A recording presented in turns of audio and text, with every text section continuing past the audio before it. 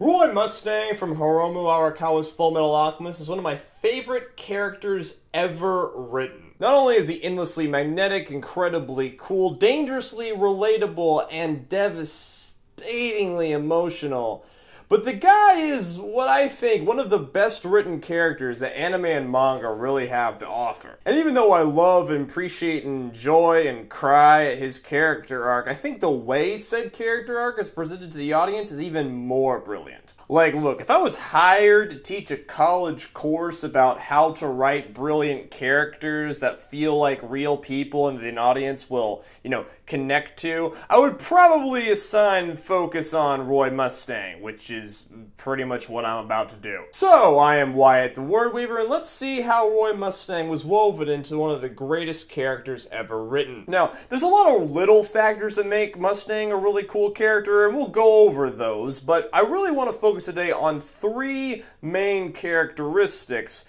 that make him a great character. And these three characters just kind of cover everything else. And those are character complexity, pacing, and emotional weight. All right, character complexity. What is it? Why is it important? Character complexity is a factor by which many characters are judged and complimented. If you ever heard a critic refer to a character as three dimensional or multifaceted or like a real person, they're, you know, complimenting said character's complexity of personality. It means the character's not one note. You can't sum them up in a few sentences. They have a complex moral system and perhaps even are a bit hypocritical. They generally exist in some sort of moral ambiguity, and sometimes they will act irrationally because of personal and emotional damage or baggage. And pretty much every, like, really, really popular character of the last few years has been described this way. One of the things that defines Mustang is that he is an adult, which contrasts him heavily with series protagonist Edward Elric. Edward is a child, and thus, a few episodes or chapters into the story, we fully understand his backstory, his goals, and his motivations. Edward is made a more complex character as he grows and changes on his way to adulthood throughout the series.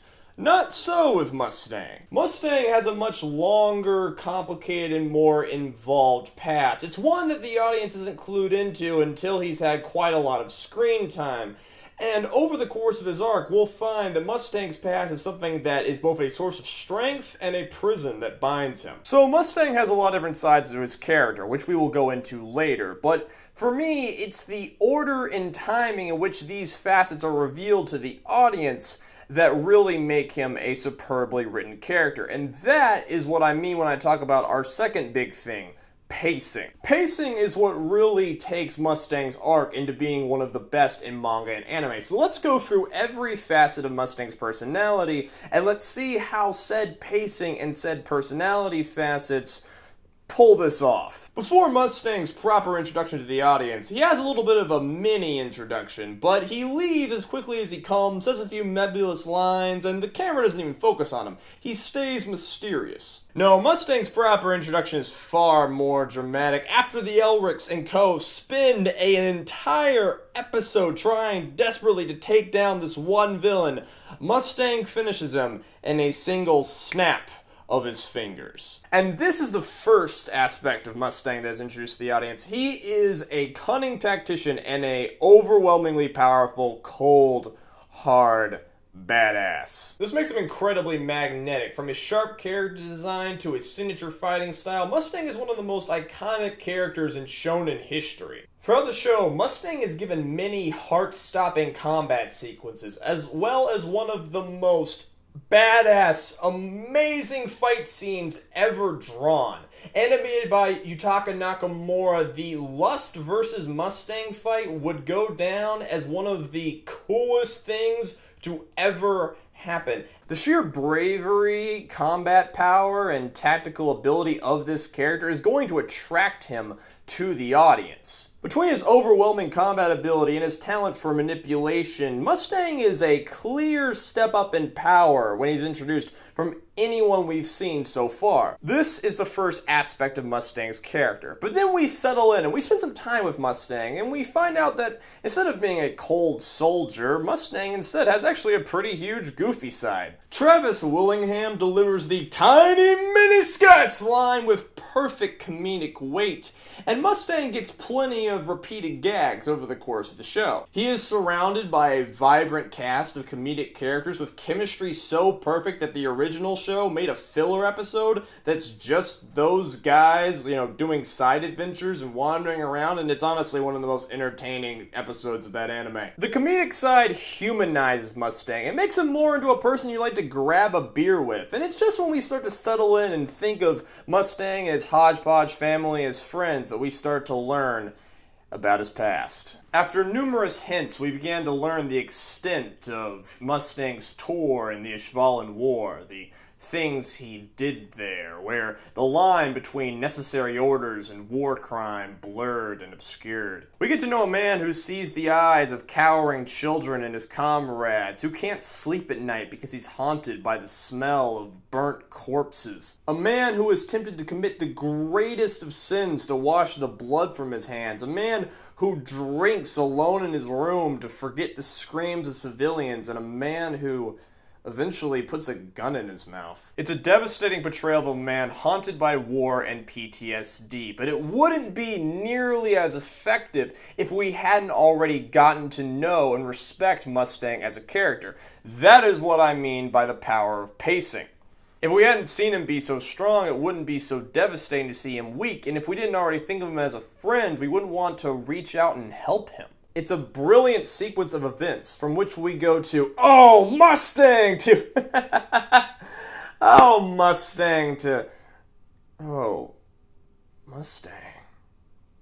This is no accident. This is a deliberate act of writing brilliance. You bring the audience up so you can knock them down. And side note, that deliberate pacing for the beginning beats of Mustang's arc is actually missing from Full Metal Alchemist Brotherhood, and I think it's one of the weaker parts of the show. So those are the three initial facets of Mustang, his three dimensions, if you will. We have a powerful, tactical warrior, a goofy screwball with a love for his adopted family, and a damaged soldier trying to run from a past he can't escape.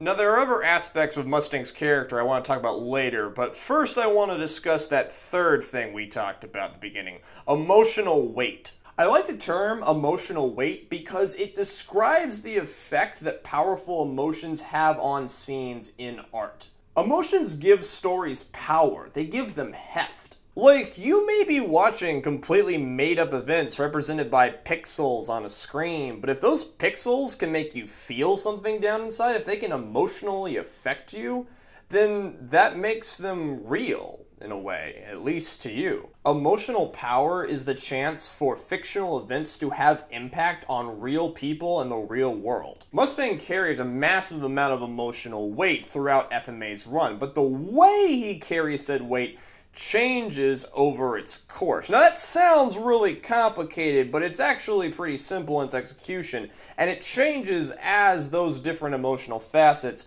are introduced. The first three allow for the first way that Mustang will evoke emotion in his audience simple empathy. At this point, Mustang is a character we care about. We've been in awe of him and have been entertained by him. He has our allegiance. We think of him as a friend, and when that third facet rears its head, we see our friend in pain and we want to help. But then there's a massive shift, a major plot point that totally changes the events of the entire story.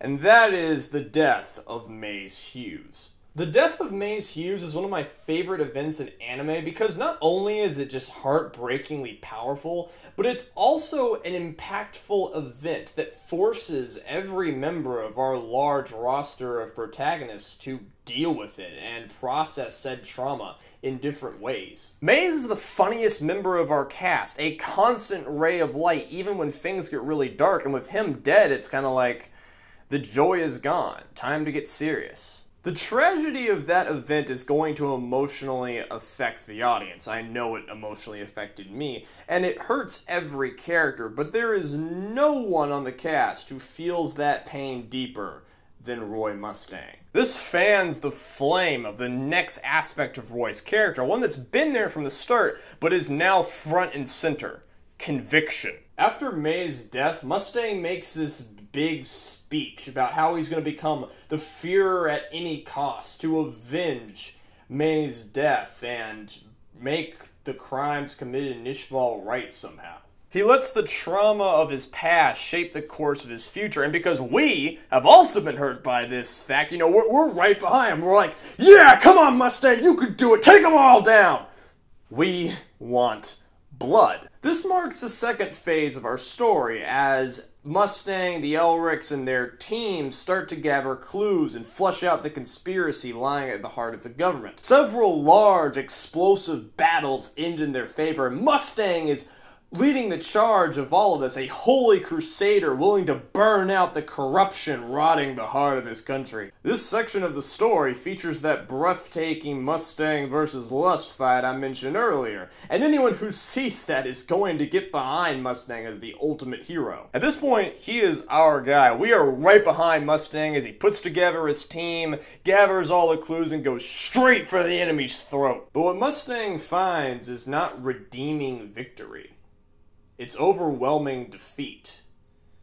In the end, Mustang is simply not strong enough to win, to accomplish his goals. His opponents are too powerful, his knowledge is incomplete, his team fails him, and he fails his team. The turn of the third season of Full Metal Alchemist Brotherhood leads to defeat of our protagonists on every front, met by foes who possess not only overwhelming strength, but entrenchment of decades. And we learn that everything our characters have done have just been playing into their hands the whole time. Season 3 serves as a bit of a reset for the show, seeing the Elrics go off to train in the north and gather new allies, a way to reset and get stronger. But Mustang Mustang's not allowed to do any of that. Mustang has to stew in his loss, and that is where we get the fifth element of Mustang's character humiliation, and defeat. After his defeat, Mustang is viciously declawed. His cabinet is scattered across Amestris, with his beloved Hawkeye being held hostage, essentially, by the terrifying homunculus Pride. And he is put in a position where he has power, but it's fake power, and he can't really do anything to affect our villains. At the same time in our story, the Elrics travel north, and they meet a whole host of new characters and new allies, and characters like General Armstrong and the new Greed take Mustang's place in the show as Chief Badass. For the third and fourth seasons, audience members are naturally just going to think of Mustang less and less, simply because he's in the show less and less. He doesn't participate in battles, and he doesn't seem really important to the plot anymore. This represents the low point of audience interaction with Mustang. You see, drama is all about contrast, you know, and it's like, say, your most basic stories, you have the ultimate good going up against the ultimate evil, right? Because the extremes, by their nature, make the opposites look even more extreme in turn. Juxtaposition is a powerful tool for making an impact, and Mustang's, you know, fade from the limelight makes his return so impactful it's almost jarring. After being betrayed as weak, ineffectual, and helpless, what's the first thing that Mustang does upon re entering the scene in a combat role? He completely wipes out a crowd of enemies that were near totally threatening our main heroes. In fact, it's a little too easy. It's a dunk of ice water onto the audience. Mustang Mustang is really overpowered when you think about it. To put it in video game terms, because I'm a massive nerd, Mustang's attacks have a near instant cast time, can deal damage from dozens of yards away, no cost, no recovery, deal AoE damage to structures, and can easily stun lock. That's not fair. And so our reintroduction to Mustang carries a lot of relief and happiness, but with it some awe and maybe even a little dose of fear. This is where Mustang's association with emotional weight becomes purely masterful. We've been waiting for four seasons for this confrontation, for Mustang to finally get his hands on the bastard that killed his best friend and the fight probably eventually made you really uncomfortable. In terms of raw content, the Lust fight and the Envy fight are actually very, very similar. Both of them aren't so much fights as they are slaughters, Mustang unloading attack after attack, not even giving his opponent the chance to counter. It isn't fair and it isn't clean. It's a stomping through and through, no matter how you look at it. But in the Lust fight, Mustang is our heroic champion, returning from the brink of death to overcome his opponent. And he is framed as such. Trumpets blare, a triumphant revelry as he attacks the camera, shoots him straight on, and we get this really brilliant, almost sexy look at his determined eyes and his powerful expression. Either that or he's crammed into one side of the frame, silhouetted at the power of his own attacks as he barks out one liners. He's cool. He's the epitome of cool. But the Envy fight? The Envy fight is different. It starts out relatively innocuous. Well, if you can count Envy doing her best to piss off the audience, innocuous. Envy gloats at Mustang and the audience, reveling in the fact that they killed Hughes, and we're just like, Mustang, tear this guy apart. And he does. Envy proves to be no match for Mustang's flames, and he is forced to retreat deep into the labyrinth. Going into the next episode, Envy is forced to hide like prey, desperately trying to keep away from an overpowering hunter. Instead of heroic backing music, the music is somber and it's low in the mix, barely noticeable even. Mustang is drawn at these low, severe angles. Instead of this cocky mask, instead, his face is contorted in rage. A shadow is almost always covering his face, and his tone is harsher than harsh. The entire fight, he's hurling insults at Envy, going into painful and grotesque detail about wanting to boil out her eyes and sear out his tongue. It's awful. This fight goes on for a pretty long time. Long enough for the excitement to fade, long enough for the satisfaction to wear off, long enough for everyone to stop and think and feel. Mustang is such a charismatic character. For so long, he's commanded respect and humor and awe. We love him, and now we're forced with the facts that he's just going bad and we're forced to watch. This fight goes on for so long. This chase, this beatdown, this utter stomping goes on for so long that we're forced with the undeniable conclusion that Mustang has been consumed by hate. We have to accept the fact that Mustang has developed his fifth character trait. He has become cruel. Up to the end of the show, Mustang is growing and his character is being uncovered to the audience. But unlike every other character who more or less just improves over the course of the show, Mustang is the only character to be proven over and over again to the audience that he is much worse of a person than they originally assumed.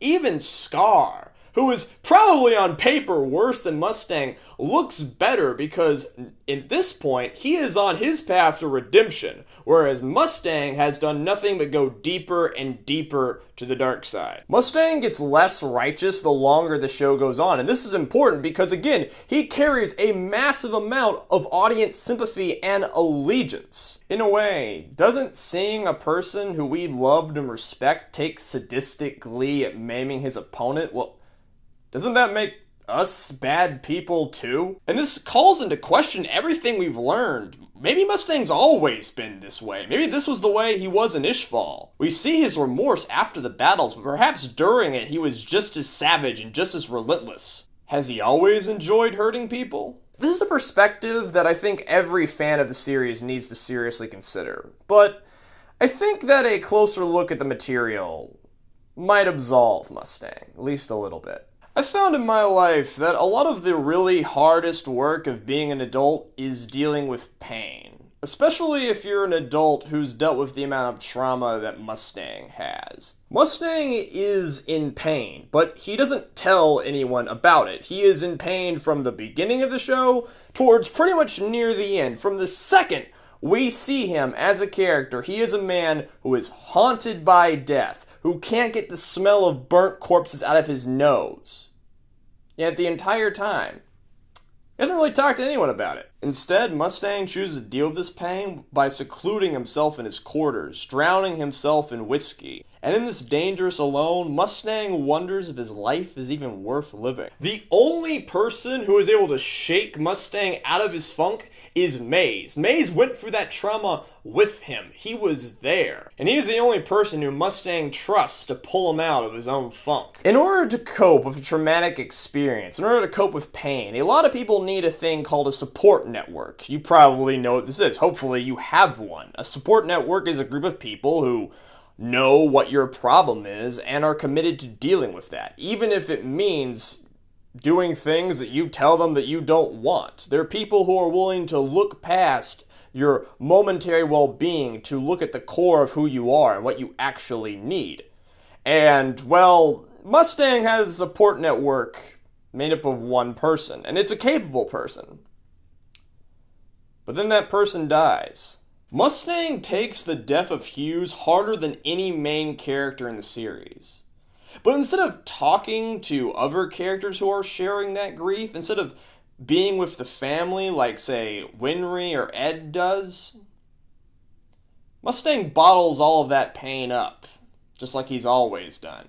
Mustang makes a vow. He takes all of the pain of Hughes' death and he bottles it all up into a desperate promise to take over the government and reform things, to make Ishval right. This grim determination fuels him. It keeps him focused. So focused that for a while he isn't really haunted by his past. For a while, looks like he's fine. Looks like he's better than ever, stronger than ever. This is a defense mechanism, and it powers him, and it seems like a good thing.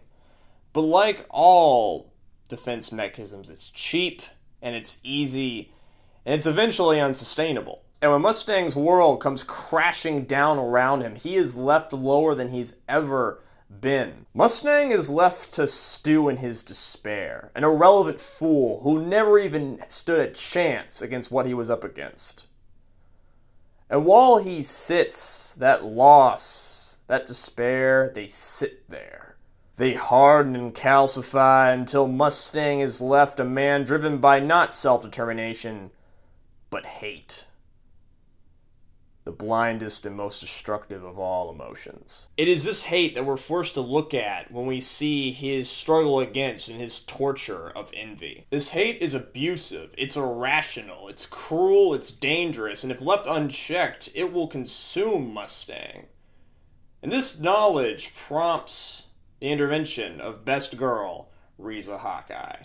Let's back up a bit. Mustang is in this predicament because he lost his support network, and that's a little bit weird because more than any other character in the entire series, Mustang is associated with teamwork. From the beginning, one of the first things established about him is his ability to manipulate people, to move them around like pieces on a board. He's constantly surrounded by his loyal squad, all of which he has obvious affection for. Mustang is the fiber that connects most of the cast. He's the one who introduces the Elrics to most of their friends early on in the show. This man is surrounded by people. So why is he so alone? In order for you to have a support structure, people around you need to know that you need help. And despite the fact that Mustang is surrounded by a loving family, people who would probably drop everything and talk to him about his problems. Mustang never reaches out. He holds the line of rank, you know, telling himself that the leader must be strong, that he can't show weakness. The most egregious example of this, of course, is Riza Hawkeye, the one person who Mustang dares shows a little bit of emotion in front of. Riza is closer to Mustang than anyone else, and she shares with him the trauma of being an Ishval. Hawkeye is actually the character in the show who is most associated with its theme of PTSD. She is the one who explains to Ed in surprisingly calm tones the sheer extent of what happened in Ishval. It's real horrors. Hawkeye lays out her trauma so calmly in this scene that it's clear to us that that woman we see grieving during the war has at this point bottled up her pain in a necessary coping mechanism to just function. But just like Mustang, her coping mechanism is unsustainable and Riza's soul atrophies, sliding closer and closer to the worst decision a person can make. She fights off this depression, at least in the short term, using another coping mechanism. Mustang himself. Mustang is the representation of Riza's hope. She thinks that he's so strong and so powerful that she puts all of her faith onto him to make things right. He's the only thing keeping her together. He comforted her during the war and afterwards acted as her guiding light. Intentionally or not, Mustang did serve as a support network for Hawkeye. And anytime he is threatened, we can see Hawkeye collapse. She can't do anything without him. Without him, she has no hope. But Hawkeye strengthens over the course of this series. She bides her time and puts her faith in the Colonel, even when he doesn't have any faith in himself. During the Envy fight, she is the only one allowed to stay by his side, but when Mustang goes for the kill, he orders her to stay behind. Hawkeye sees the darkness growing in her commander and her loved one, and she knows that if he kills Envy, that it will consume him. She sees hate desecrating the man that she knows is the best this country has to offer, the man who kept her going when nothing else did. And so she puts a gun to his head. But it isn't the gun that stops Mustang. It isn't the berations of Scar and Edward. That won't work. There's only one thing that will break through to Mustang. And in that final moment, Hawkeye decides to commit an act of complete and utter intimacy. She lets down every barrier, every denial, and admits that when these events are over, she plans on taking her own life. She lets Mustang know her greatest burden and her darkest intention. Shocked by this revelation, Mustang is shaken to his core. In a final explosive blast, he releases all of his anger, exposing the broken man that lies underneath. The brokenness that's always lied underneath. And I- am sorry if my delivery gets a little sketchy here. This is the part that just Th- this is the part that just breaks me, folks. Travis Willingham takes his performance to the height of the industry as Mustang admits that he can't allow for Hawkeye to die, that he can't afford for her to not be by his side, that she's been the only thing that's been keeping him going, just as Mustang was the only thing keeping Hawkeye going. Broken out of his rage, Mustang reflects on how far he's fallen, before turning to do something he should have done a long time ago. Mustang locks his eyes at Hawkeye, and in that moment, the two characters reach a moment of pure intimacy. It's a moment they hadn't reached since they were just two broken soldiers looking at a massacre when Riza asked Mustang to maim her in order to keep another massacre from happening. It's a connection that they bottled down, repressed behind rank and duty. And it's a connection that has finally come to its surface in its full beauty, and this is one of my favorite moments in all of anime. Because after all these years, these two people are finally together in a way that, even though they've always been close, they never have. They always had the chance to, but this is what it took for them to burn past their crimes and their sins and their self hate and everything keeping them trapped in their own minds and finally connect with one another. In this moment, the two characters finally realize how much they need each other, and Mustang turns away from his hate and begins to lean on everyone else for support. And Hawkeye takes the role she's always been destined to take as the person who provides that support. This is, of course, symbolized perfectly when Mustang loses sight and he must rely on Hawkeye to aim his attacks, with the two working together perfectly to take down Father. His character arc complete, our Mustang is much more happy, hopeful, and cheerful, and he's a man that's driven not out of the desire to desperately wash the blood from his hands, but a driven conviction to make things right to make things better for people because he cares about people. And who is lying in the bed next to him but the woman who made that all possible? That's the arc. But this video, which I recognize at this point is running a little long, is not just a paint by numbers retelling of Mustang's arc with a pinch of psychoanalysis thrown in. Plenty of people can do that. Here at the Wyatt the Word Weaver channel, we want to look a little deeper. We want to look at writing. So let's go back to that emotional weight. Hiromu Arakawa is clearly a master of manipulating her readers' emotions. Mustang's arc takes us to places that most mainstream fiction would never go. We are gifted the experience of seeing a person that we love and care for be the bad guy. He lets us down. He betrays us. This is important because not only should art strive to make its consumers feel as broad a spectrum of emotions as possible, but it's also just closer to real life. Sometimes your friends are going to make bad decisions. Sometimes they're going to need your help, and you have to learn when you need to intervene, even when it means provoking their ire. Sometimes that's what real friendship's about. Beyond that, Mustang's arc acknowledges the fact that people are complicated. They're not simply good or bad. It acknowledges the fact that sometimes the difference between good people and bad people is just a few bad decisions. And sometimes there's no difference at all. Beyond that, it challenges the audience to reevaluate their assumptions and their ethics, an act that any work should be applauded for doing. And beyond all that pretentious crap, it just makes it a much more powerful and memorable story. What should we learn from Mustang? Well, remember to make your characters complex, but those complexities have to be paced out. Remember that Mustang was like this the entire time that he was on screen. We just didn't always know about it. The order of trait reveal can drive the audience emotionally towards where you want them to be. It can also get them to reassess their own assumptions, and doing this forces them to think deeper about the work, which is going to make the work more memorable in people's minds and also tends to build a more fervent fan base. Effectively pulling off morally gray characters is a task that will test and grow any writer. I plan on doing it myself, and hopefully I'll be halfway decent at it someday. And folks, that is going to wrap up our discussion of Roy Mustang. Oh, Gosh, this video was hard to make. It's been a while. I have been out of practice. Uh, if you're new here, there are some videos on this channel that are worth watching that I've made before. You can check them out.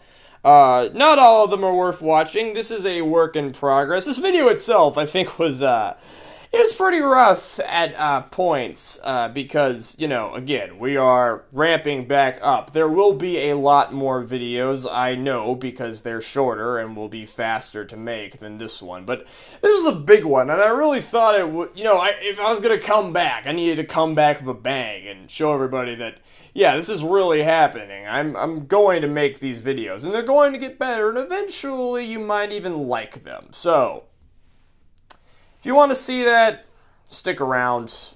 I'm not going to give you any more spiel. I'm going to go get on making that next video, and y'all be good.